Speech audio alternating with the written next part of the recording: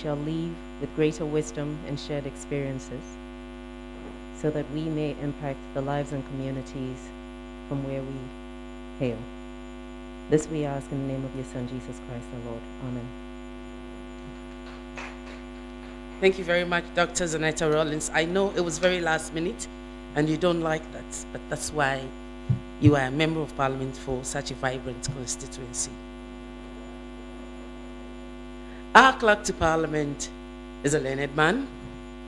He's been in parliament um, from the inception of the Fourth Republican Parliament. He has enormous experience in how parliament functions and has benefited from various meetings, conferences that discuss parliaments not just in Africa, but the world over.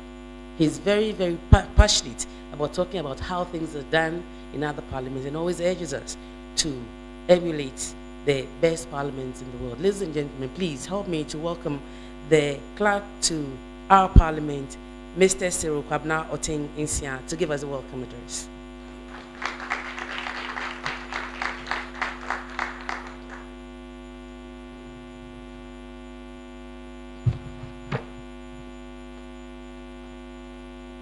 Thank you, Kate. Right Honorable Speaker of Parliament, Honorable Minister for National Security, Honorable members of the leadership of Parliament, Honorable members of Parliament, the leader and members of the CPA UK team, representatives from the Commonwealth, Your Excellencies, members of the Diplomatic Corps, deputy clerks, principal assistant clerks, directors, and officers of the parliamentary service, distinguished invited guests, our friends from the media, ladies and gentlemen, I am pleased to welcome you cordially to this auspicious event which marks the opening of a three-day workshop on trade and security organized by the Commonwealth Parliamentary Association, United Kingdom, in partnership with the Parliament of Ghana. It is indeed an honor to warmly welcome our friends from the Commonwealth who have found Ghana a favorable destination for congregation of experts to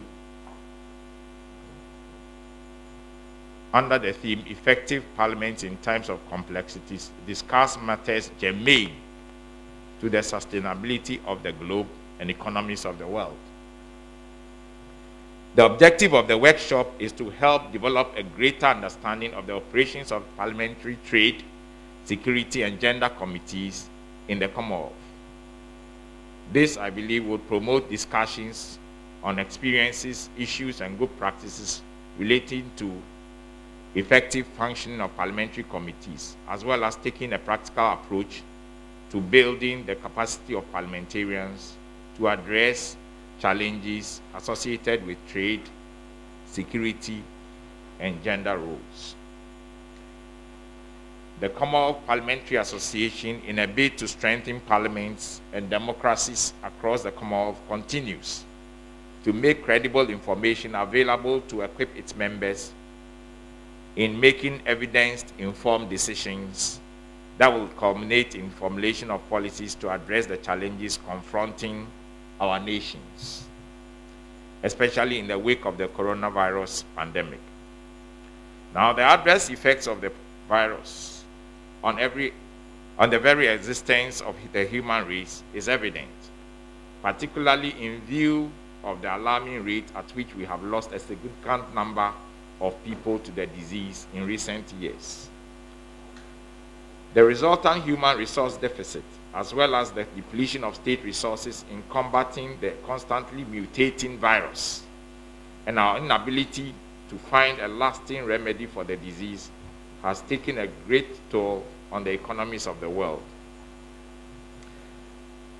Now, in a bid to build resilience, against the current challenges posed by the virus, Parliament in general, and particularly of the Commonwealth must pay attention to developing and implementing mechanisms that will boost trade, enhance security, and improve gender relations.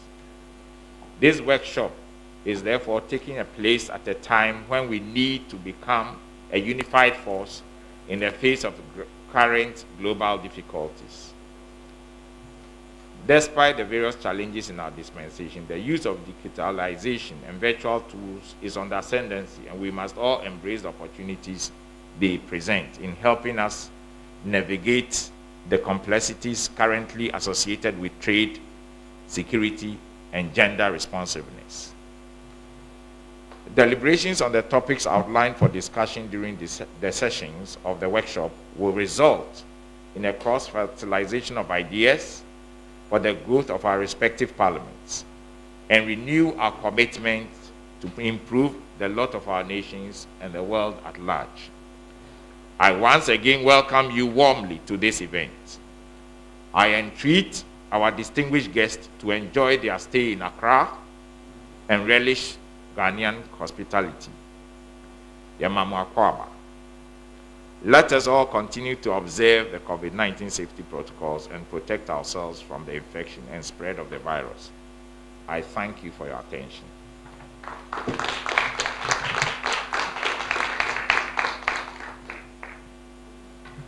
His middle name, Kwabena, means that he was born on Tuesday, and his birthday is fast approaching, so we just might have a party here in Parliament. Um, the next speaker is a former member of Parliament for Afigya Sekyere West in the Ashanti region of Ghana. He was also the chairperson of the Public Accounts Committee. At the moment, he's the Minister of National Security and one that we keep calling on. It feels like he's not left Parliament because we see him here so often. Ladies and gentlemen, honorable members, please help me to welcome the Minister for National Security, the Honorable Kan-Dapaah.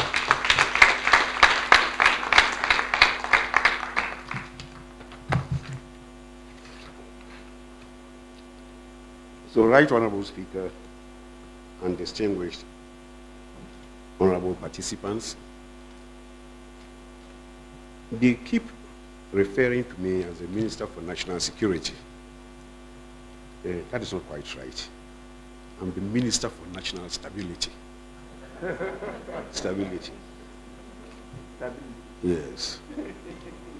And I want to set my remarks uh, this morning against this background.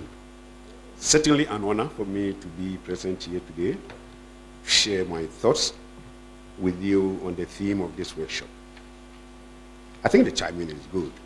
And I think the, the theme selected to drive the discussions could not have been perfect, given the astonishing challenges confronting parliaments across the world, particularly those in fledgling democracies in Africa, uh, not excluding Ghana.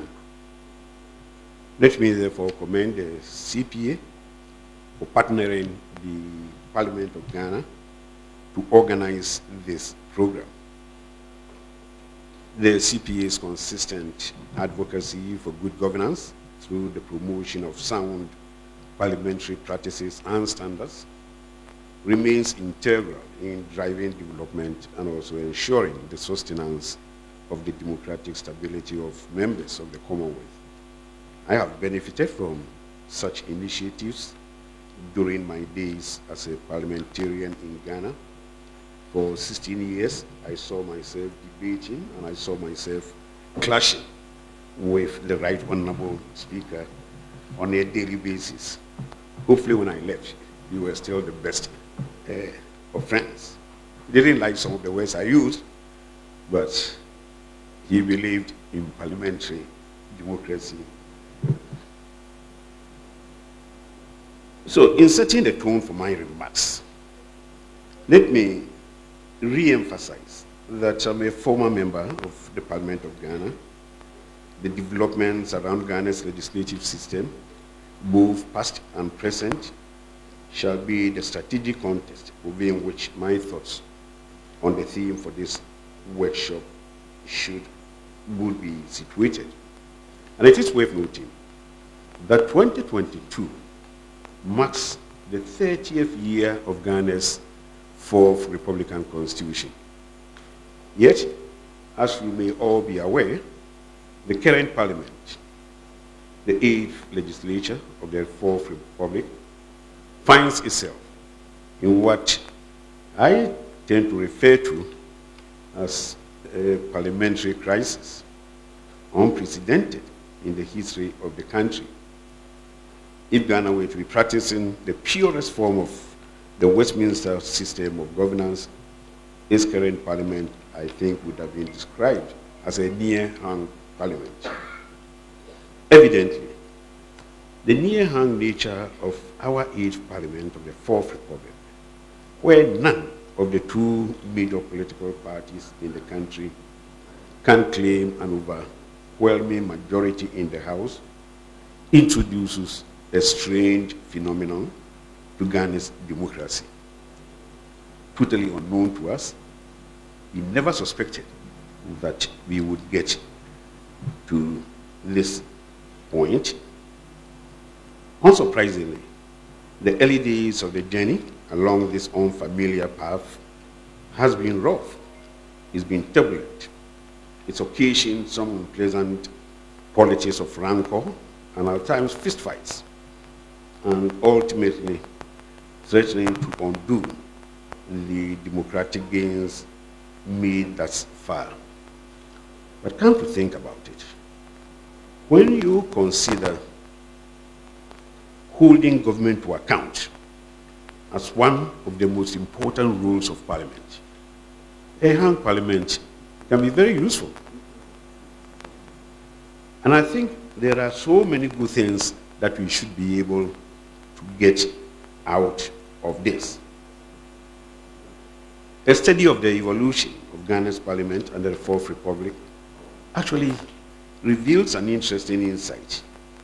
The composition of the current parliament, where majority is decided by a narrow margin of one seat, is in sharp contrast to the first parliament of the Fourth Republic, which operated as a one-sided legislature due to the decision of the then opposition party to boycott the 1992 parliamentary elections. What does this observation imply for the growth of Ghana's parliamentary practice?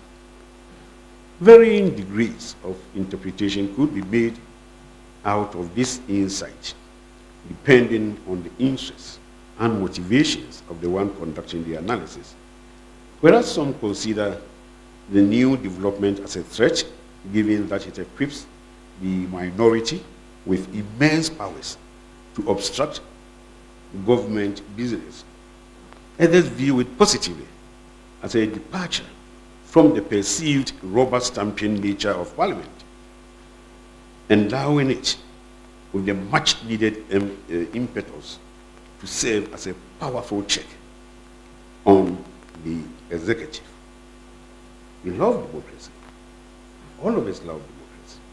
But the only reason we love democracy is because of the checks and balances. Democracy without the checks and balances doesn't qualify to be democracy. When it comes to the checks and balances, the only institution best positioned to do that is Parliament. Parliament is the only institution that can hold government to account. So what then should be the way forward in order for Ghana to avoid the latter? And incidentally, the present crop of politicians, both sides, government, minority parties, most of us came out of parliament. So we know ourselves very, very well. The Right Honorable Speaker has been on the other side. I have always sat on another side. But we know ourselves. We are friends. We trust each other. And it helps. Every parliamentarian, especially those who have been in parliament for a long time, know every minister because they were colleagues, because they were friends in parliament. A powerful tool that has been given to us, and we need to be able to make good use of it. And I think an objective diagnosis of the current legislative situation is the first step towards avoiding the pitfall of a destructive parliament.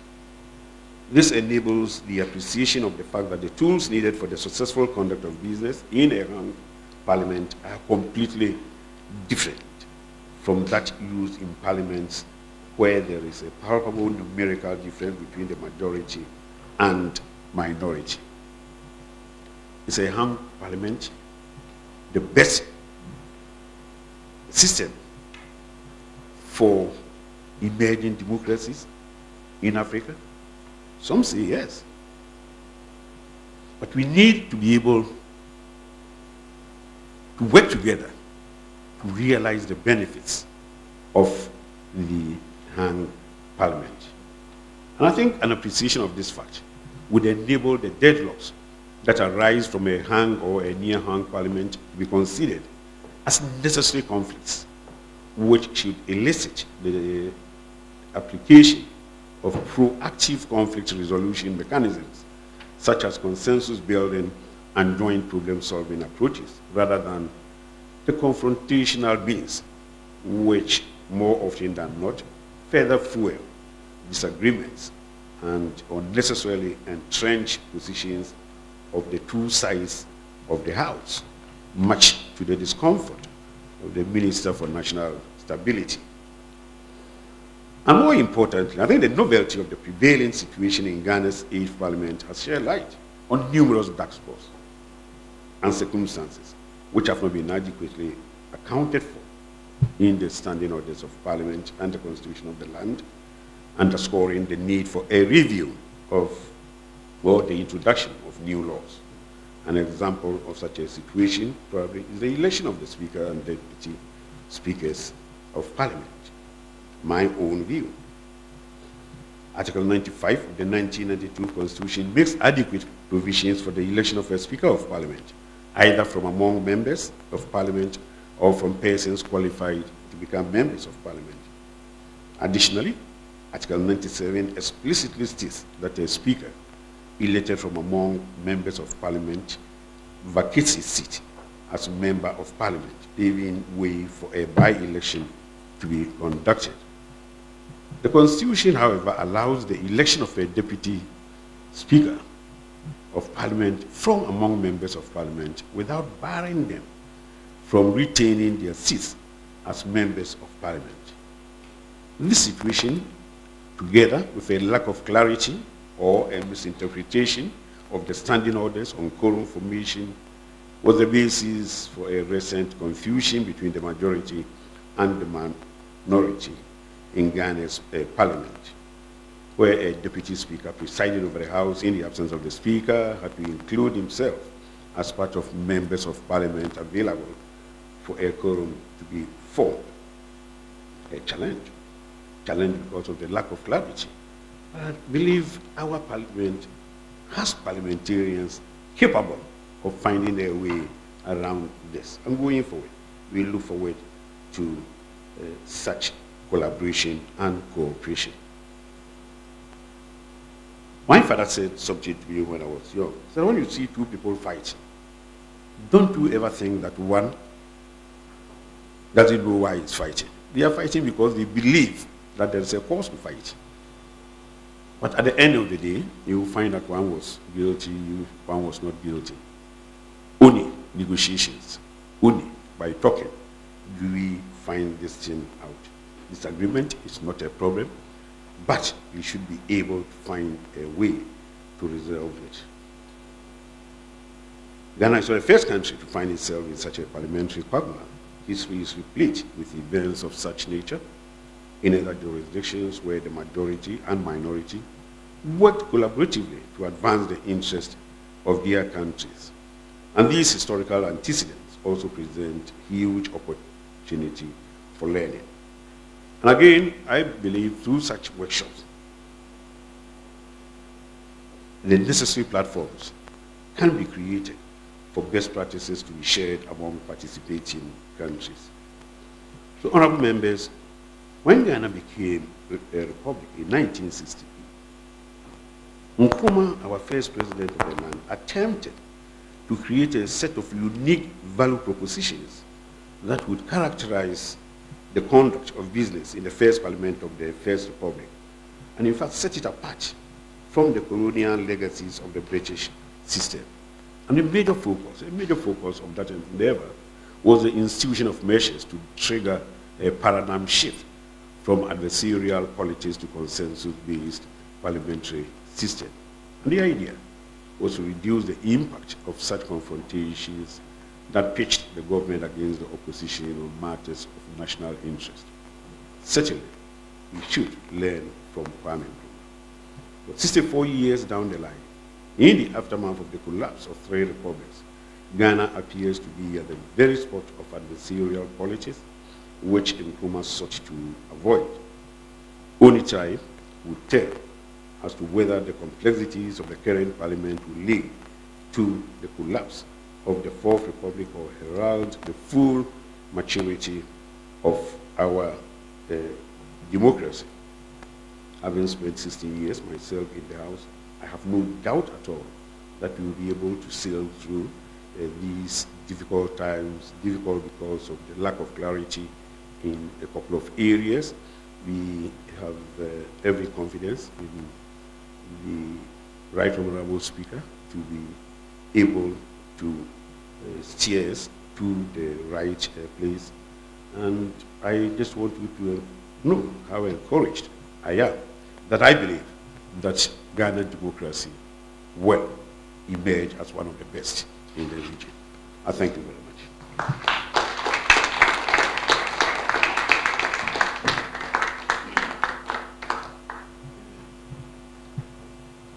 Thank you very much. The Honorable Albert Kan-Dapaah, the Minister for Stability. Like he said, he's been friends with the Right Honorable Speaker of uh, 8th Parliament because they've been colleagues. Our Speaker has seen all the parliaments of the 4th Republican Parliament, having been part of the pioneer MPs that joined Ghana's democratic journey in 1993. He has risen through the ranks, has acted as a whip, has acted as minority leader, majority leader at various times, has crossed over to the executive, and now, in acted as a second deputy speaker, and now is at the apex of our institution. I don't think there is a better person qualified to do the job that he's doing now than he himself. And we're very happy to see him this morning, and I'm very happy to welcome him to deliver the keynote and opening address for this workshop. Let's please welcome him with a round of applause.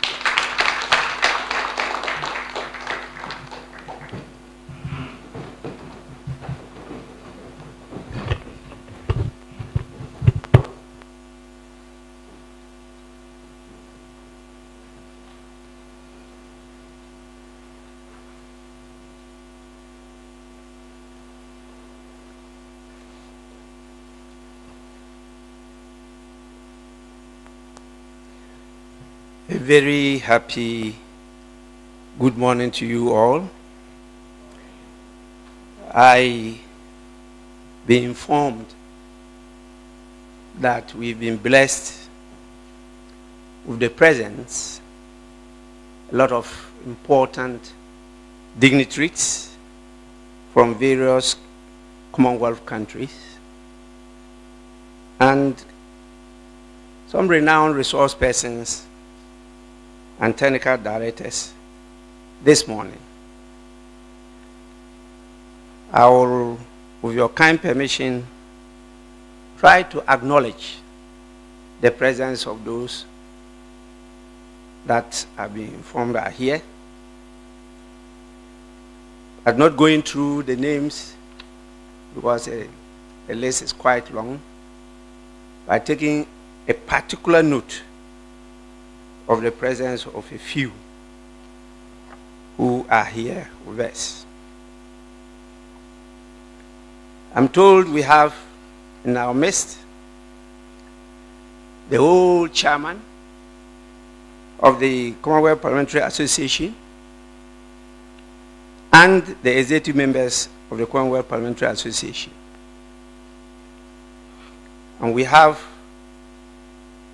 delegations from a number of Commonwealth countries. The first being the team from the UK, made up of four honorable members and directors of the Commonwealth Parliamentary Association. I actually love the composition because that team is really gender balanced. Two gentlemen, two ladies. I think this is the way to go. And I hope that the other parliaments have come the same way constituted. We also have a delegation from the National Assembly of Nigeria, Seychelles, Cameroon, definitely a large number from Ghana, the Republic of Mozambique, as, uh, Malawi, Zambia, Gambia, Kenya, Sierra Leone, and definitely not only the team that I refer to, some more members from the House of Commons of the UK. We have with us also the leadership of the Parliament of Ghana. You've already been given an idea of the kind of parliament I preside over by the Minister for National Security. In fact, he says he's now Minister for National Stability. Uh, I have not, as Speaker, been officially informed. And the House is not aware of that change. But in his usual manner, he decided to add that stability. He's actually the Minister for National Security. We also have the Minister for Defense, Minister for Interior, the Minister for Health, the Minister for Trade and Industry, and some members of the leadership of the various committees in Parliament, and a few members of Parliament are present here. We have also Excellencies, members of the Diplomatic Corps. We have the Presidential Advisor on Health. We have Chief Directors, Chief Executive Officers, and Directors of Ministries and Government Agencies here, and a number of distinguished resource persons who are going to definitely assist and facilitate this three-day workshop. We are blessed with the large presence of the Parliamentary Press Corps, and some invited guests are here with us. Ladies and gentlemen, let me take this opportunity to warmly welcome you all on behalf of the Parliament and the 275 members of the Parliament of Ghana to our lovely and beautiful country. Ghanaians are known to be very warm, friendly, and hospitable. And we show this particularly in welcoming visitors to our homes. And we do this in various local languages. One is what my very good friend, the Minister for National Security, has just said. Akwaaba. And it looks more common. But we also have Wezo, which is from another very large ethnic group in Ghana. and we have Marhaba. We also have Yawayane, and we also have Nyejiko. And I'm sure I got that right. That is the welcome that we hear from the indigents of the land in which we are, the Gans of Ghana.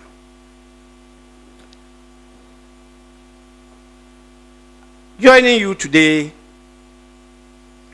to deliver the keynote address at the official opening of the Commonwealth Parliamentary Association workshop on the theme Trade and Security Effective Parliaments in Times of Complexities here in Accra is an exciting opportunity for me.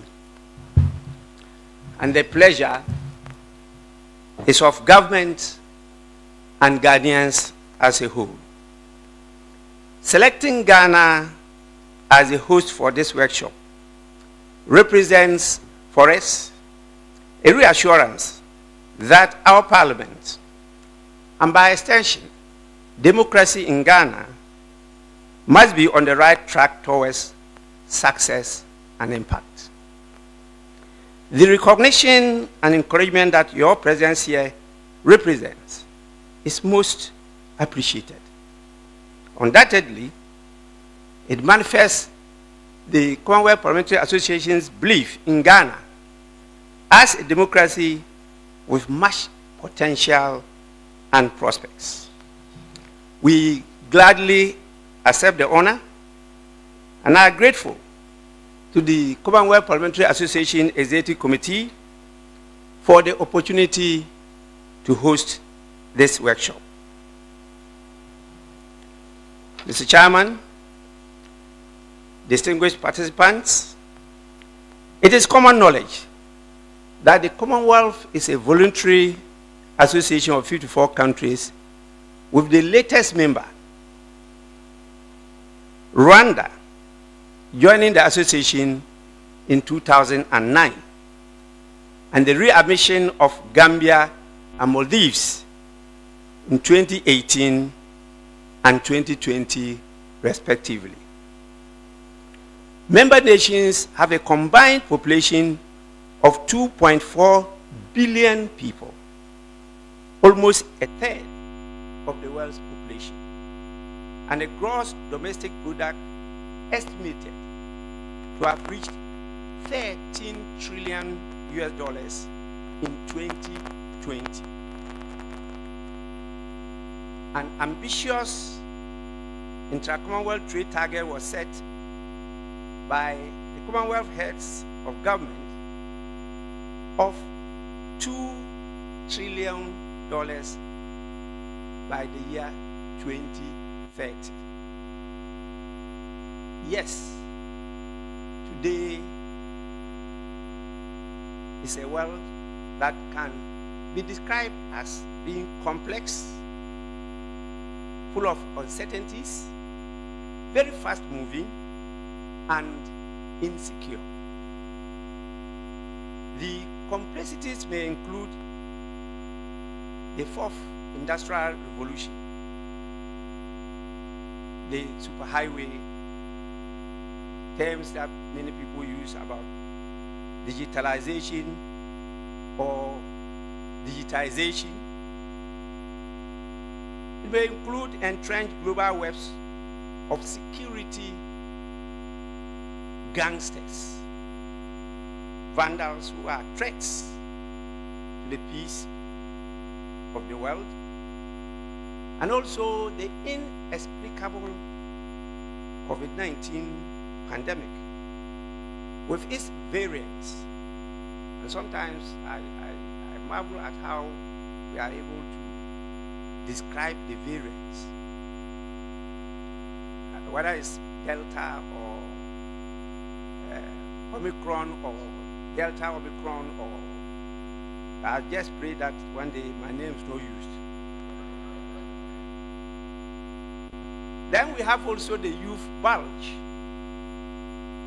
And you know, the problem with mass unemployment, and we have the threat of depopulation in some parts of the world. Again, we have the resurgence of unilateralism and the backsliding of democratic governance in the world. The sequel of all these complexities are the upsurge of abject poverty, economic depression, conflicts, terrorism, and in fact, failed countries. We are not admitting it, but all of a sudden, a number of countries have collapsed. And we are getting the uh, a new crop of leadership being produced by undemocratic means. Some of these countries I mentioned, you know, are embroiled in these situations.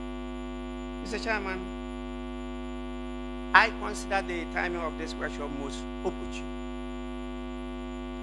This is because whilst intra-Commonwealth trade and investments remain of great value member countries of the Commonwealth, a closer look ought to be taken at risks associated with health, security, and safety. Which institution or group of people are better placed to take a deeper and wider look at this situation than parliaments or the associations of parliamentary groups like the Commonwealth Parliamentary Association. The association cannot ignore the fact that with the steady increase in intra-trade activities among Commonwealth countries, at a time of such complex global environment, there is an urgent need to bond together, to take decisive collective action, to assuage, if not prevent, these economic, health, and security catastrophes. As the former president of Liberia, Ellen Johnson Sirleaf, said during the Ebola crisis, Ebola is not just a health crisis. Across West Africa, a generation of young people risk being lost to an economic catastrophe. These were her words.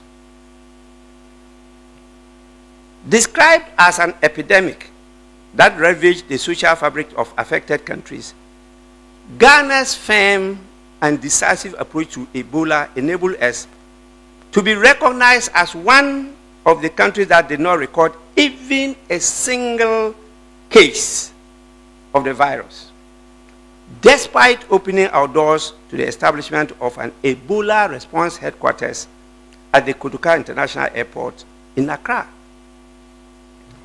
This was done in partnership with the United Nations Mission on Emergency Ebola Response. And I believe the information sharing that we did was central to our response strategy in mitigating the spread of Ebola in Ghana. A comprehensive national preparedness and response plan was also developed and it supported the implementation of many preventive strategies. The other things about temperature checks at entry points, contact tracing, aggressive testing, were all part of the government's protective protocols.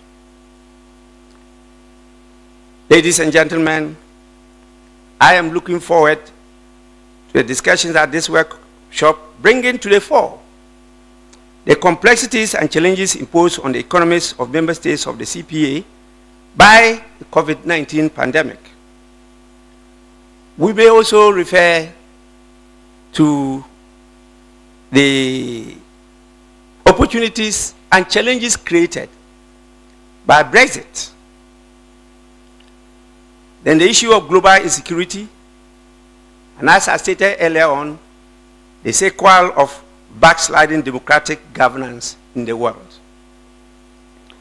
How has these matters affected trade among member states? And what has been done to ease up the effects of such calamities? What more needs to be done going forward?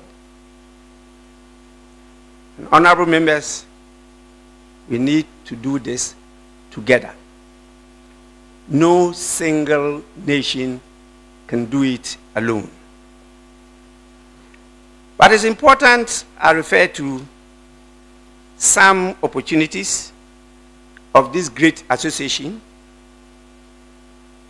And I know many of you who have been part of the Commonwealth Parliamentary Association for some time,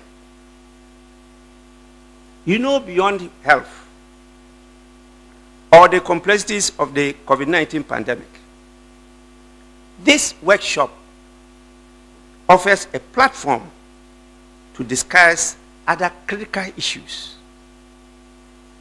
Definitely, the focus is on trade and security as they affect members of the Commonwealth Parliamentary Association. But at the core of the ideas of the association is the common welfare of member countries. The common welfare of member countries. And once the member countries feel that there's that common welfare, it's not difficult to bond together. I believe the progressive alliance of the Commonwealth holds significant benefits for citizens of these countries when it comes to areas like democracy, education, human rights, security, justice, and trade. Justice, as you know, the Commonwealth judicial system or jurisprudence, very, very different from our colleagues on the other side. Not even that which is practiced in the United States of America. That is quite a different system. Ghana, because we like or love hybrids, we always box them together. And these are some of the things that result in what my good friend, the Minister for National Security, referred to. The gray areas, the doubts in the laws that we try to craft. I believe the most important wealth or treasure of the Commonwealth is its human resource. The Commonwealth is a global center of quality education. And the association invested greatly in human resource development. And each country of the association has unfettered access to reap this investment. With this, honorable members will be able to, in spite of the serious global challenges we are facing, forge ahead together to take advantage of the inter-Commonwealth trade and investments to develop our nations. The Commonwealth offers diverse opportunities for sharing best practice and for preparing particularly members of parliament for the arduous tasks ahead of them as representatives of the people. The multiplicity of learning opportunities that the Commonwealth Parliamentary Association represents finds expression in one of Africa's proverbial sayings which suggests that, and I quote, knowledge from experience is like a baobab tree. No one can encompass it with his hands. Wit, no one is a repository of knowledge on how things are done. Hence, diverse experiences from others can be beneficial. That is what the Commonwealth Parliamentary Association represents to us. A platform to deepen one's understanding of the work of Parliament, relying on the knowledge and experience of others who have traversed this path before. And we all know when it started. Officially, around 1215. Additionally, the association offers a, an opportunity to engage in important conversations and through that use the tool of experiential learning to not just as a knowledge base, but to sharpen the skills and tools of parliamentary practice and procedure. I take very great pride in having been an active member of the Commonwealth Parliamentary Association, rising up to become an executive member of the International Council and the current vice president on this reputable association. And I want to assure all of you that we are once again honored and happy to be hosting you next year to the international conference here in Ghana. I consider my continuing service to the Commonwealth Parliamentary Association as a duty, but it also gives me a sense of pride and exposes me to such unimaginable insights into the works of various parliaments. And happily, I've almost visited, um, I think, almost all the Commonwealth parliaments, some three times, four times, and I've learned a lot from them. None is the same as the other. I can boldly state that the knowledge and experiences acquired from the various platforms of the association have immensely impacted my appreciation of parliamentary practice and procedures throughout my 28 years as a member of parliament. This has served me extremely well in my current role as Speaker of Ghana's Parliament. And I am indeed grateful to the association for this rare mentorship, grooming, experiential learning, and training. And I say Ayekoo to the Commonwealth Parliamentary Association.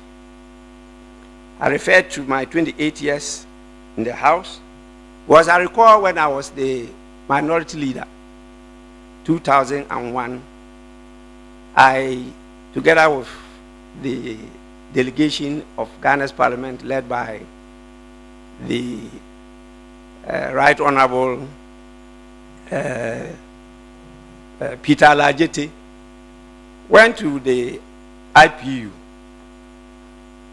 And uh, I had a very good opportunity to be elected there as a, vice chair of one of the committees.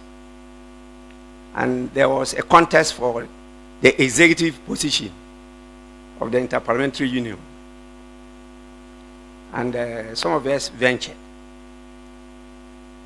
When the other competitors introduced themselves, the youngest was 26 years in Parliament. And I was just 11 years. Uh, not even 11.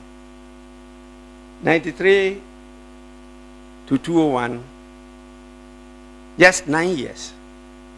I mean, do I need any advice to drop out from the contest? This game, monkey play by sizes. And so it is good and proper to allow elected members of parliament to mature in parliament. You can't keep on changing your members of parliament like shirts and expect to reap good dividends. You must give them the time to grow, be able to produce the dividends that you want. Mr. Chairman, yes, a bit of the complexity of COVID-19 pandemic, the Ghana story. Because I know we have very important, very respected resource persons, technical directors to give you more information. But I believe that it could be a best case study in looking at how to combat this global threat. Those of you who have read much will recall the global pandemic of 1435, which used to be called the Black Death. It was also alleged to have started in China. And wherever it got to, it wiped out not less than half of the population of the time. And when the British got the information that it was coming closer to them, they had to summon all the religious to pray for God Himself to intervene to prevent them from being inflicted by this global pandemic. It did not save the situation. It attacked with disastrous consequences. Changed Britain completely. But the generation at that time took advantage of the opportunities it created. And there is even the beginning where we started having the commons, the laborers, being given the opportunity to negotiate for remuneration. And that is where this concept of wages and salaries started. So the COVID is not all bad, not just a crisis alone, but there are great opportunities. And the experiences of countries will assist us to get some of these opportunities and rather focus and invest in the opportunities to get life better for our people. And that is why I refer to the Ghana case, and I won't give the details, but it's clear that Ghana is usually cited as one of the best examples. And I want to take this opportunity to thank His Excellency the President, Nana Addo Dankwa Akufo-Addo, because it was through his leadership, with the support of the former president, I should say collaboration of the former president, His Excellency John Dramani Mahama, and the use of an effective parliament in Ghana, supported by our technical and resource persons to see us through. Ghana's parliament was called upon to pass emergency bills, one of which had very serious challenges was the imposition of restrictions bill. And definitely you have various schools of thought. And there were intense debates. But what I say is that these schools of thought had their say. By the end of the day, the decision I was taking served the country well. Ghana and Ghanaians are better off than most developed countries. That is where I would want to refer you to an article in the Washington Post who stated as follows that when it comes to coronavirus response, superpowers may need to study smaller nations. And I think this is a good platform for the delegates from the superpowers that we have here to study the experiences of the small nations in Africa. Ladies and gentlemen,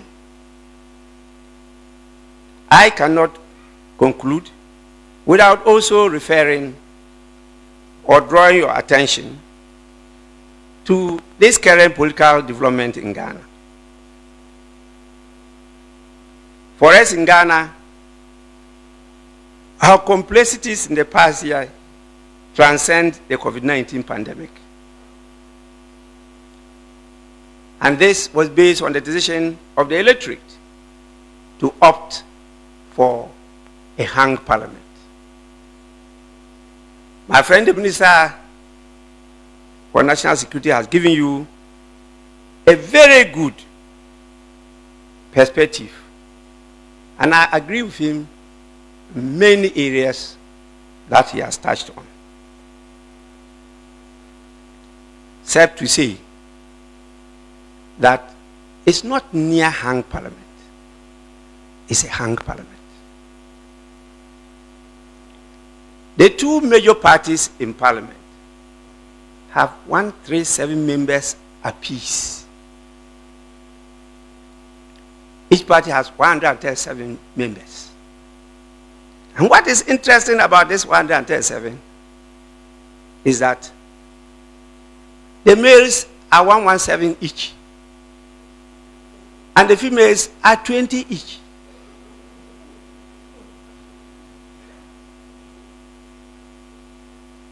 So, this claim of an independent member being a member of the party in government is erroneous and unconstitutional.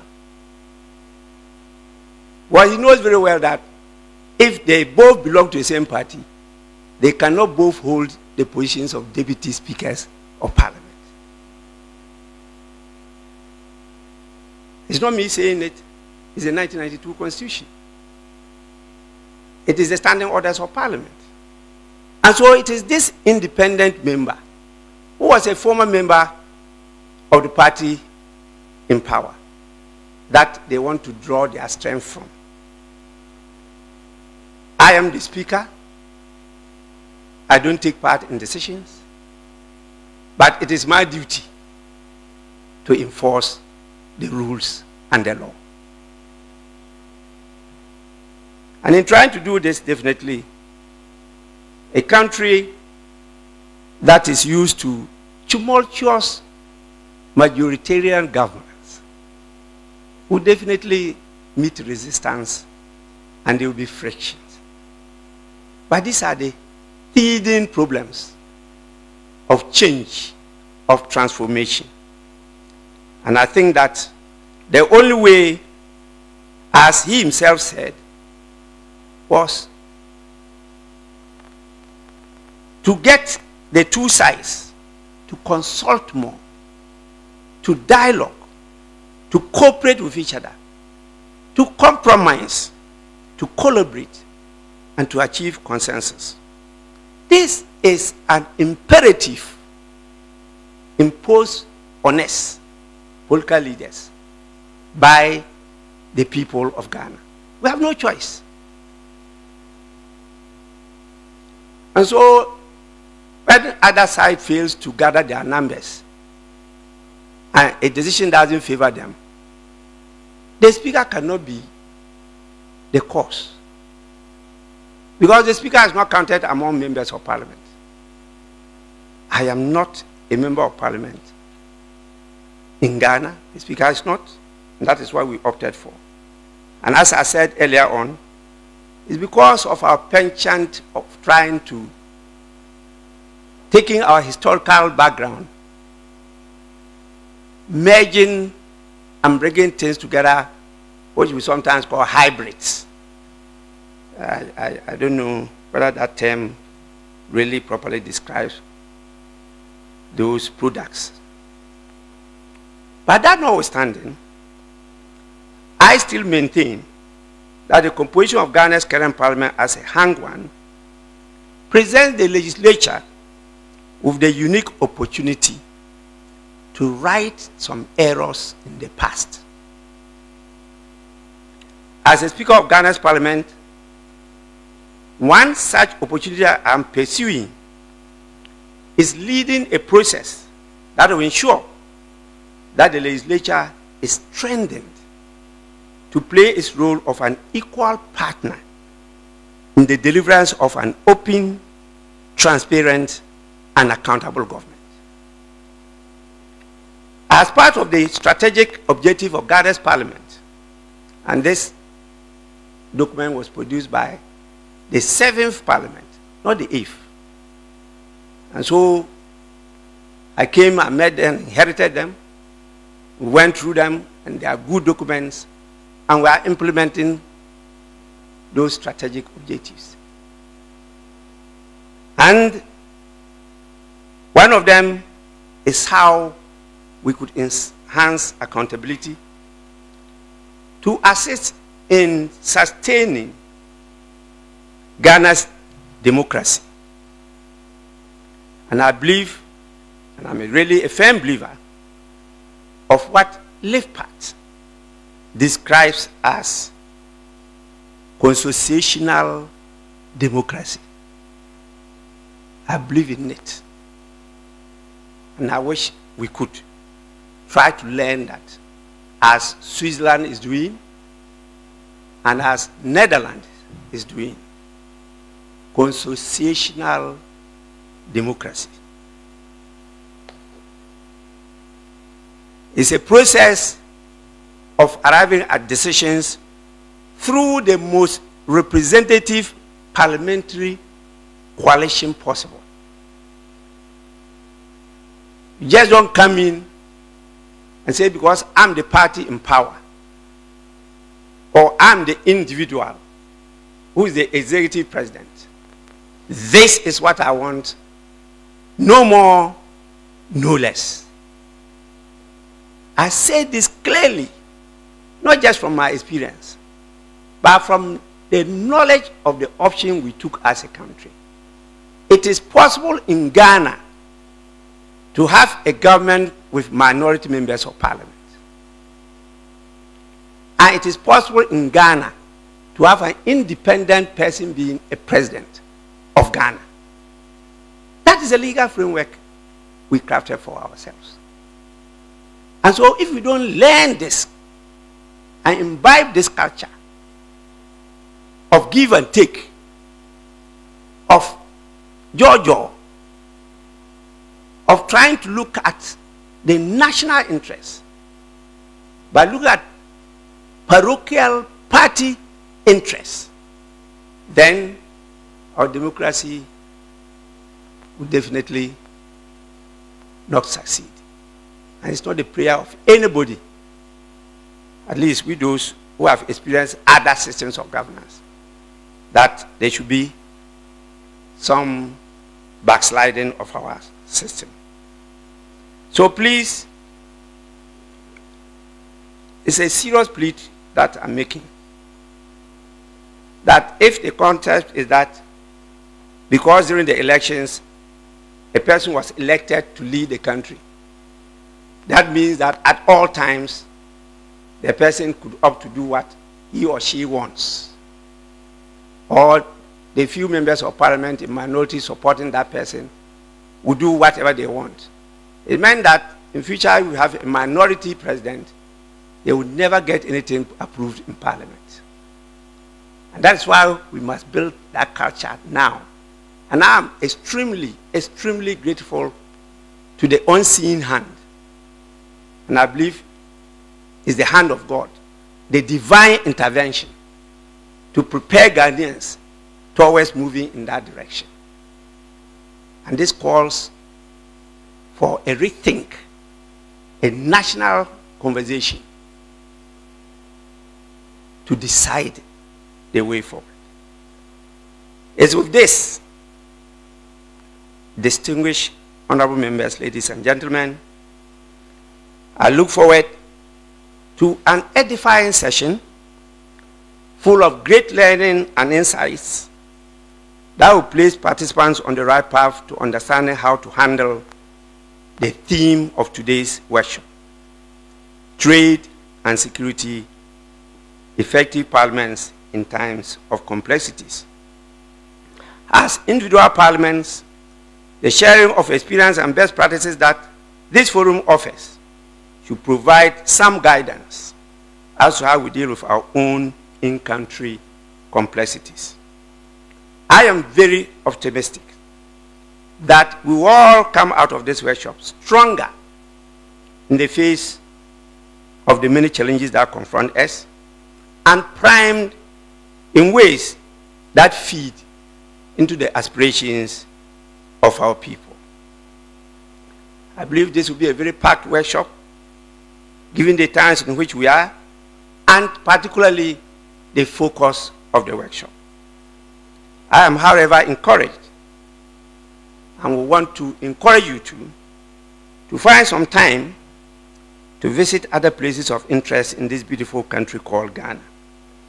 I believe you will enjoy it. Let me thank all of you for accepting to participate in this workshop. And I wish you a lively and fruitful session. God bless Ghana. God bless the Commonwealth Parliamentary Association. God bless our mother, Commonwealth of Nations. I thank you all for coming.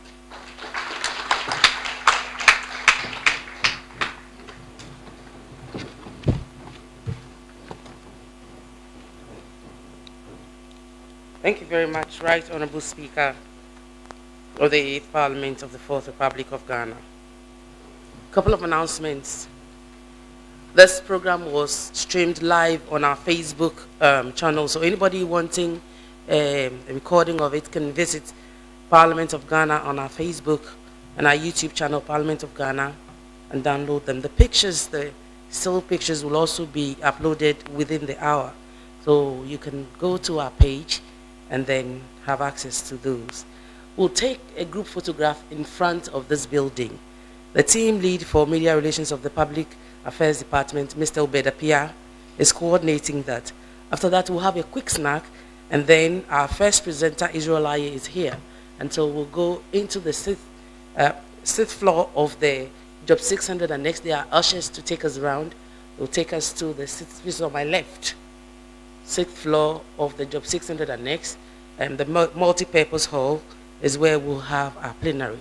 And so for now, we'll head down to the photograph, and then a quick snack, and then to plenary. Thank you very much, and we wish you God's blessings, and enjoy Accra and Ghana. The speaker will leave first, and then the rest of us will follow. So may we please rise as he leaves.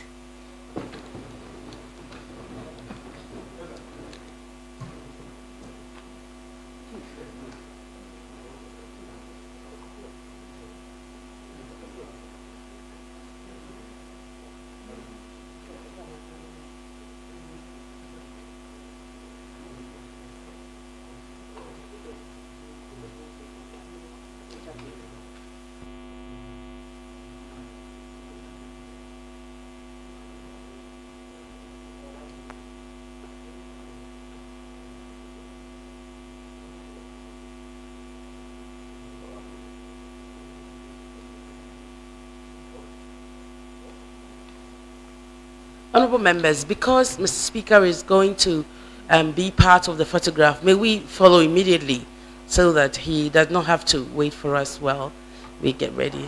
So we are heading down for the photograph and then a quick bite and then to plenary.